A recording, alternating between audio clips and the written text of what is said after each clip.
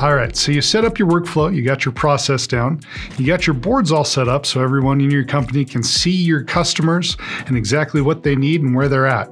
Oh, the next thing you need is you need actual customers.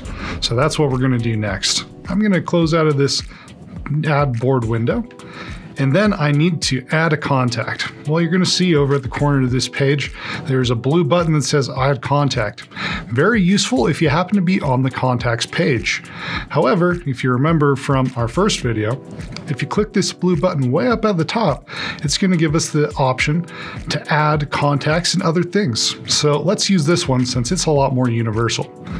You can click on add contact and here it gives me the option to start adding contact information, which I'm going to need to do if I want to put anyone into JobNimbus. Some things are easy, like a first and last name, and other things like an email and a phone number, very important. A website, maybe a little bit less important. Uh, you might look through all of this on the left hand side, your customer information, and say that's good.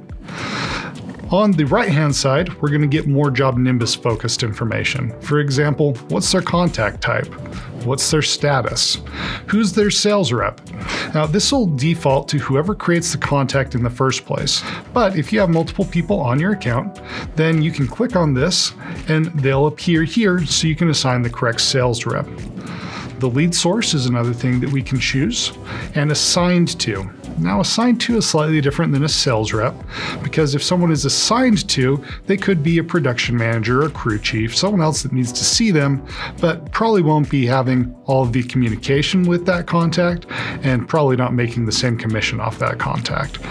You can have one sales rep, but as many assignees as you like. Once you get to the bottom, you see where it says gated community and gate code. These are what we call custom fields. They're things that you might want to use that aren't necessarily built into JobNimbus. So take a minute, look at this contact form, and decide if there's anything that you'd like to add. I assume you found something you want to add. Congratulations. Let me show you how to do that. Let's X out of this. Once we've X'd out of that, we're going to click on that circle in the upper right hand side to go back into our settings because this is a backend change. If we want to add a contact field, we're going to look on the left hand side until we find contact fields and click there. You'll see that gated community and gate code field that we automatically have built in. How you could delete these if they don't apply to you using the red delete button or we could edit them to be slightly different. But for the time being, let's just add some new contact fields. Click on the Add Contact Field button, and it's going to pull up this little menu. So first, we have to give the field a name. Once again, this can be anything, we don't really care on our end. It could be sunshine and puppies, it could be rainbows or unicorns, but I suggest that you name it something that's gonna make sense to you and your company. For instance, if you wanted to know date of first contact, I might name this field name date of first contact. Then I would choose a type.